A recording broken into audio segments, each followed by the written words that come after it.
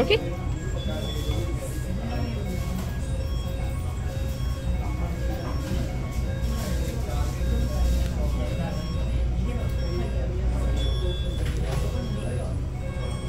दिशांत कैसा लग रहा है अब?